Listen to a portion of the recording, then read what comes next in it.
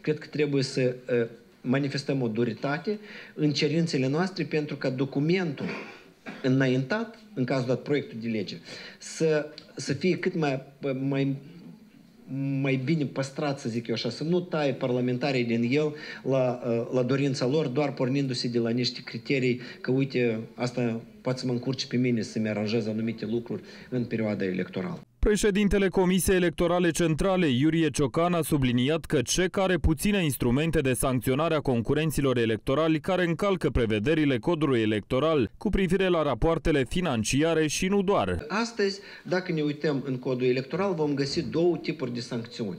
Una este avertizarea și alta este solicitarea excluderii.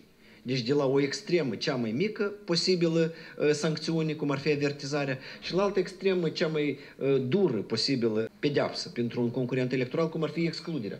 Iarăși noi credem că trebuie, trebuie chestiile să ajustate, oferind un instrumentariu mai larg. Participanții la conferință s-au arătat însă pesimiști că în viitorul Parlament ar exista destulă voință politică pentru votarea unui asemenea proiect de lege. Comisia Electorală Centrală, uh, potrivit legii, poate, prin mecanismele pe care le are, să transmită mesaje foarte, foarte apăsate Parlamentului, Guvernului, ca totuși să încerce să facă ordine în finanțarea partidelor politice.